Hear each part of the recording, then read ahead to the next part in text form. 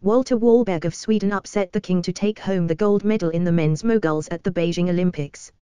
Wallberg looked almost in shock when his score of 83.23 flashed on the board, edging defending Olympic champion Mikael Kingsbury of Canada on a bitterly cold Saturday night. Wallberg picked up points for his speed over the smooth and technical skiing style of Kingsbury, whose nickname is the King of Moguls. Now, there's a new King of the Hill. Ikuma Horishima of Japan took home the bronze. As the athletes were positioning themselves for the post-contest pictures, Kingsbury looked almost confused where to stand and had to switch places with Horishima. Clearly, Kingsbury's not used to finishing second. Wallberg's surprise victory interrupts the men's moguls' dominance of Team Canada, which had won the event in the last three Winter Games. This was Wallberg's first major win. The 21-year-old Swede has never even won a World Cup event.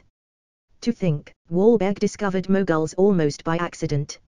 When he moved to Åre, Sweden, he saw some kids practicing on the moguls course one day and was instantly drawn to the sport. Kingsbury entered the night as the overwhelming favorite, always is these days.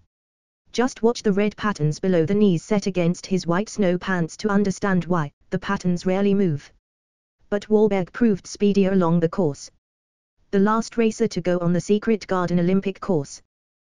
He pumped his fist in excitement after his run and raised the goggles to check out the scoreboard. The new king liked what he saw,